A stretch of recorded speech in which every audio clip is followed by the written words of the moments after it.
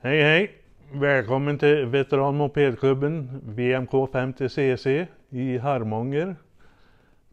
Vi håller till 300 meter öster om kyrkan. Väldigt viktigt, öster. Uh, vi är en mopedklubb som har funnits ända sedan 98. Så vi var en av de tidigaste i Sverige. Det var den här Mopedo Eternit och sen så var det nog vi. Vi är väl kanske 65 medlemmar just nu. Och det tycker vi är lagomt. Vi hade en topp när vi hade en jättebra försäkring. Så då var vi jättemånga medlemmar men då ringde de och ville vara med i den här mopedförsäkringsklubben. Och det var liksom inte våran grej. Så vi är alldeles lagom med folk nu. Här har vi en Lütz. Det var en eh, tysk motor med vinkelväxel och den, just den här är byggd av Smegon i Älgered, Älgebohed. En gammal helig syndlapp, Monarskot.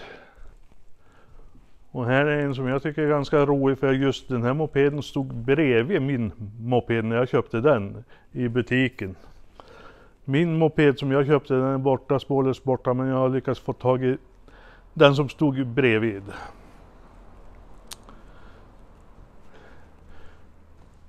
Rex Sprint är inte så jättevanliga, men jag har en. Den här mopeden var, vi hade polisen som besökare här, vi hade någon trygghetsvandring och de fastnade, av någon jäkla anledning så fastnade de vid just den där mopeden. Ja, jag vet inte. Jag kan inte räkna ut. Kan det vara att han är viktkompenserad eller? 13 hästar på bakhjulet i alla fall. Har ni mätt det i bänken? Ja, de äldsta. En RMV. Ganska ovanliga mopeder. Men det fanns ganska många här för de såldes på Åkes Motor i Delsbo. När mopeden hade 60 års jubileum så då hade vi sex stycken sådana där. Vi hade 60 mopeder och vi hade sex, sex av dem var just RMV. En gammal Push. En Solex som eh, grannfrun eh, hade med sig i flyttlassen när hon flyttade hit till Sverige från Danmark. Komar. Det är klubbens senaste, en novelett som vi fick av en ki gubbe, kille. Ja. Här är tomtens eh, röda kromstockholmare.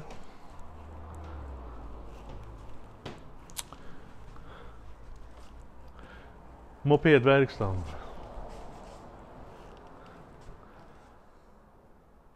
Är det allt som behövs? Det är allt som behövs. Det är eh, liksom massor av original oanvända nosprylar. Den där pakethållaren där som bara fanns på en årsmodell av Syndap.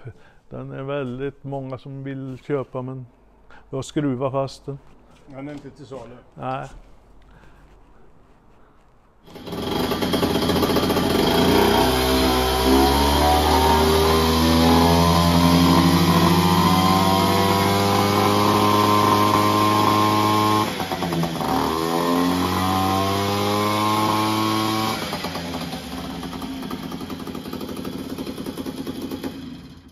Eh, jag är korvoman, lever för korv. Många i vår klubb gillar korv.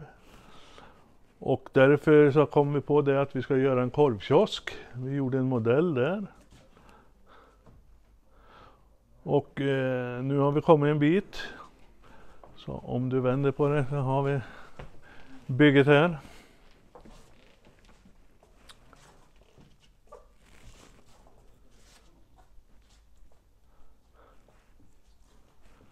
Det var lite besvärligt att bocka de här eh, rundade rutorna så jag har en, en hel hög med misslyckade experiment men till slut så lyckas jag. Så nu, nu vet jag hur jag ska göra nästa. Ja, de här. De, de där eh, kupade rutorna men där står det ett gäng, fem, sex stycken, som inte var nöjd med. Farfar hade inget körkort för bil, men däremot så åkte han moped. Han var snickare, så det är farfars gamla snickarlåda. Mopeden är inte hans, men lå, lådan är efter farfar. Och eh, spark med plog, det var ju ganska vanligt med sidovingen vingen tycker jag är lite ovanligare. Jaha, kolla. När jag gick i skolan då hade vi någonting som heter teknik och då hade vi ju kunskap i princip. Så den här kommer från skolan. Och planschen här och vi har till och med arbetsböckerna som vi hade när vi eh, meckade med mopedmotorer och grejer och sånt där. Två mopeder hade de och så körde vi mopedmästaren. Och naturligtvis var det ju Rex-mopeder. Gammalt kök. Som det kunde se ut. Nu, syns det inte men ba, bakom blommorna där så står det en Rex-moped genom fönstret.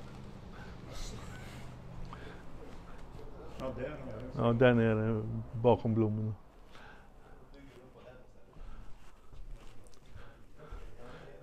Gulf Mac och naturligtvis en två, tvåtaktspump. Eftersom vi håller på med, mest med mopeder.